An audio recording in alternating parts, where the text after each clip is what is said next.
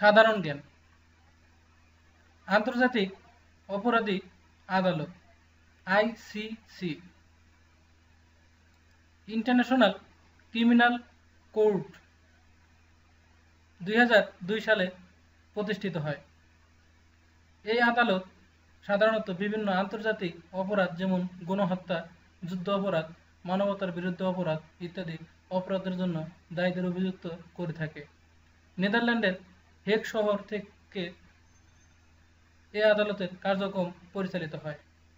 এটি স্থানীয় বিচার ব্যবস্থার বর্ধিত অংশ হিসাবে কাজ করে, অথবা কিছু শর্ত সাপেক্ষে, যেমন দেশের বিদ্যমান বিচার ব্যবস্থা কোনো অপরাধীর সাজা দানে অপারক বা অক্ষম হলে জাতিসংঘের নিরাপত্তা পরিষদের আহ্বানে বা কোনো সদস্য রাষ্ট্রের আহ্বানে এই সংস্থা তদন্ত ও বিচার কার্য পরিচালনা করে। এই আদালতের নিজস্ব কোনো বাহিনী না থাকায় দণ্ড কার্যকর করতে পারে না। কিন্তু সংশ্লিষ্ট দেশ বা অন্য কোনো দেশকে তা কার্যকর করতে বলতে পারে। এর চারটি অংশ আছে। প্রেসিডেন্ট, যিনি আইসিসির সর্বোচ্চ বিচারক। জুডিশিয়াল কাউন্সিল, প্রেসিডেন্ট জুডিশিয়াল কাউন্সিলের সদস্যদের মনোনীত করেন। তারা শুনানিতে অংশগ্রহণ করেন। আইনজীবী। আইনজীবীরা নিজেরা কোনো অপরাধের তদন্ত করেন ও বিচার কার্য শুরু করেন। Register office. আইসিসির সকল প্রশাসনিক দিক দেখেন একজন রেজিস্ট্রার ও রেজিস্টার অফিস।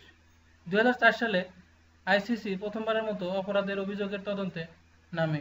ওই বছর গণপ্রজাতন্ত্রী কঙ্গোতে যুদ্ধ অপরাধ ও মানবতা বিরোধী অপরাধের তদন্ত শুরু করে সংস্থাটি। রাশিয়া, চীন, ভারত ছাড়াও মার্কিন যুক্তরাষ্ট্র এ আদালতকে স্বীকৃতি দেয়নি। সাবেক মার্কিন প্রেসিডেন্ট বিল ক্লিন্টন রোম নীতিমালায় স্বাক্ষর করলেও প্রেসিডেন্ট জর্জ বুশ তা প্রত্যাহার করে নেন। কারণ হিসাবে সাবেক এই যুদ্ধবাজ মার্কিন প্রেসিডেন্ট বলেন, মার্কিন যুক্তরাষ্ট্র চেষ্টা করছে সারা বিশ্বে শান্তি প্রতিষ্ঠা করতে। এই আদালত মার্কিন কূটনৈতিক এবং সেনাদের হাজির করতে পারে এই যুক্তি দেখিয়ে বলেন, মার্কিন যুক্তরাষ্ট্র জাতিসংঘের মাধ্যমে ভুলভ্রান্তি সমাধানের চেষ্টা করছে। মিয়ানমারের রাখাইন রাজ্যে সংখ্যালঘু রোহিঙ্গা মুসলমানদের উপর গণহত্যা চালানোর অভিযোগের বিচার আন্তর্জাতিক অপরাধ আদালতে করার আহ্বান জানিয়েছে জাতিসংঘ। রোহিঙ্গা নিধনে জড়িতদের বিচারের কাঠগড়ায় দাঁড় করানোর এ আহ্বান জানালেন জাতিসংঘের মানবাধিকার বিষয়ক কমিশনের প্রধান জেইদ রাত আল হুসাইন। রোহিঙ্গাদের বিরুদ্ধে নৃশংসতা পরিচালনাকারীদের আন্তর্জাতিক অপরাধ আদালতে নিতে হলে বিশ্ব সম্প্রদায়ের জোরালো এবং সম্মানিত সম্মিলিত চেষ্টা থাকা উচিত।